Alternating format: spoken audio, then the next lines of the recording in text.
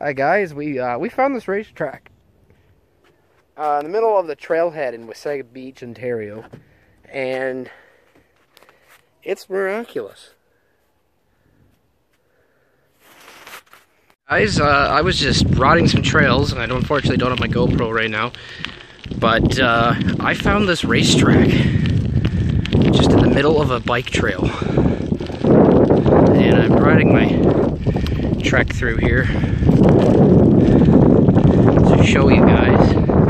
There's not much left of what was here. It's just a lot of that. Concrete slabs everywhere. Someone's dog.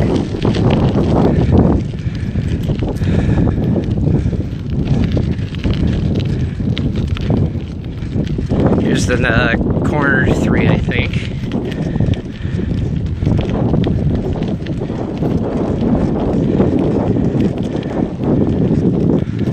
The low banked corner. It's a very low banked corner. It's not a very high banked corner, but it is a corner.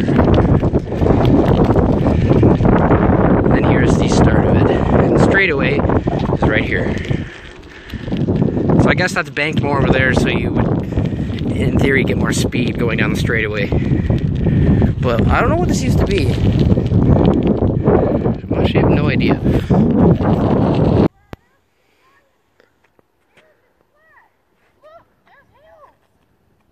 Look at the size of this, guys. This goes all the way around there.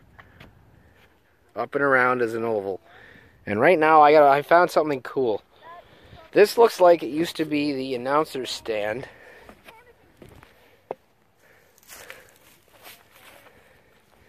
From the old racetrack.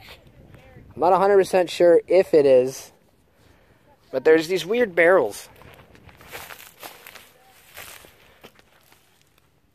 Uh, on a E, made in Greece. These are these are metal. I don't know what else what else is underneath here. This looks like a lot of plant and shrub life. Oh, uh, we got another barrel over there. Yeah, right there. But this is cool. Stairs. Wood's a little soft. This is neat. This might have been the announcer's stand. Now, what else is under here?